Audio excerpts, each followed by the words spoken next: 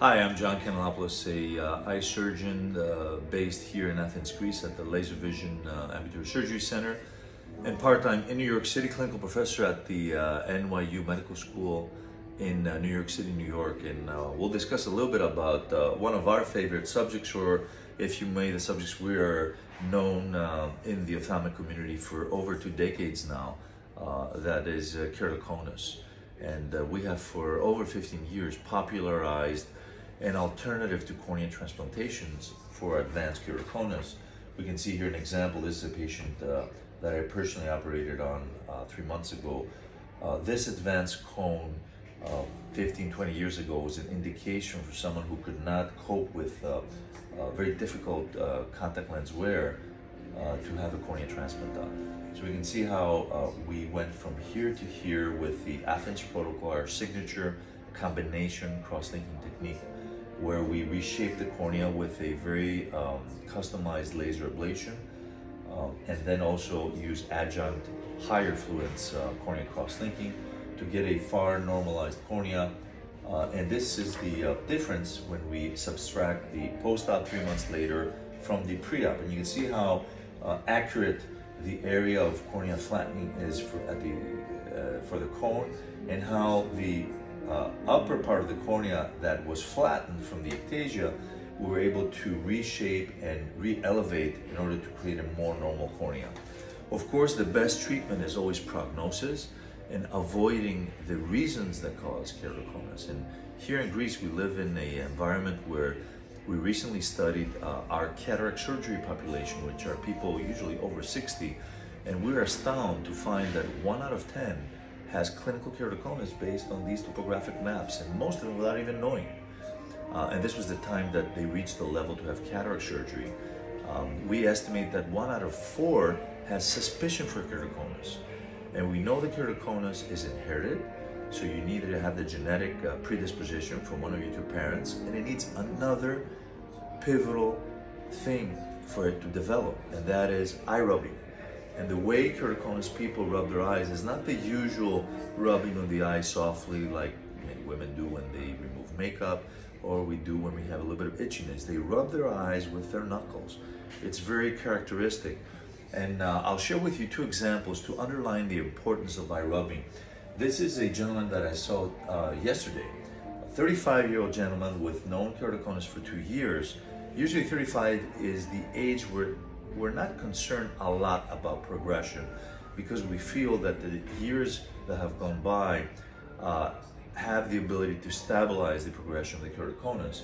So he's aware for two years now that he should not rub his eyes, uh, and he doesn't do it obviously during the day. But if we look at his epithelial maps, these are the cornea epithelial maps with this fascinating technology by Optovue. We can see that the epithelium has remodeled drastically to accommodate the biomechanical forces um, that the patient is uh, applying to his cornea. And we're absolutely certain when we see this picture, we've shared this with colleagues uh, globally, that our patient is an eye rubber during his sleep. And indeed, after a careful questioning, he does sleep on his right eye, this is his right eye, and on his knuckles.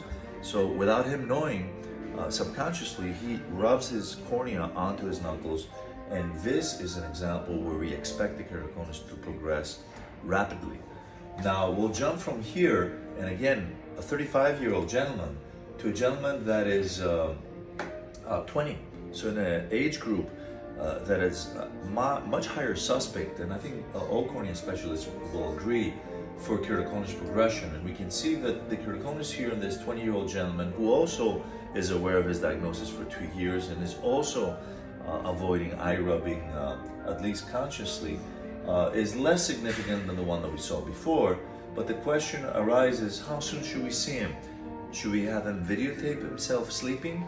Because we're obviously concerned if he rubs his eyes during his sleep.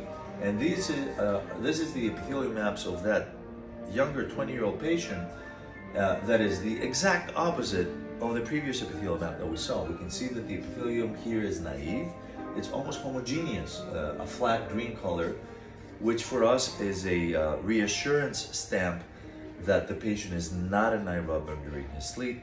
This gives us a lot of uh, uh time and a lot of relief that we don't have to really follow him that closely unless his vision changes.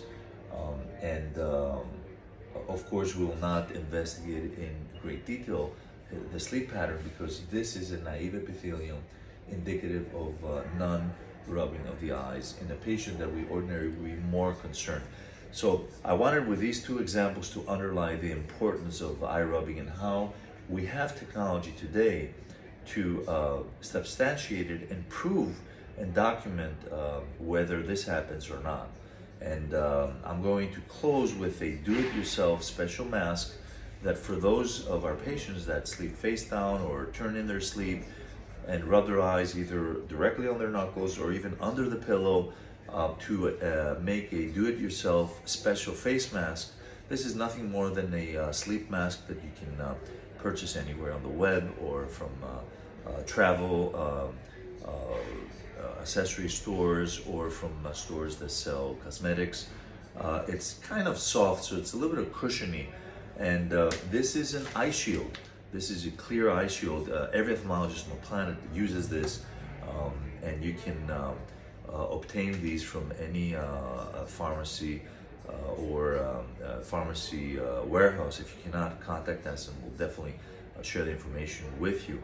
So this is what a clear eye shield looks like, and we use it usually after procedures we tape this on patients' eyes after procedure so they don't rub their eyes during sleep and they don't uh, take the risk for an infection. But obviously you can't do this on a daily basis if you're a keratoconic patient. So you can use an eye shield in between two sleep masks. So sleep mask number one, we will place an eye shield in between and then face mask number two. And then here we need a little bit of uh, sewing skill to sew these two together and create a very comfortable face mask that will have a, a hard shell uh, eye shield that has really soft borders uh, and uh, will enable us, obviously we'll do the same thing for the left eye in this mask as well, will enable our patients to place this over their eyes, sleep comfortably, and rest assured that there will be no manipulation with their hands on their eyes, especially if they are more of the uh, type uh, 1 patient that I showed you.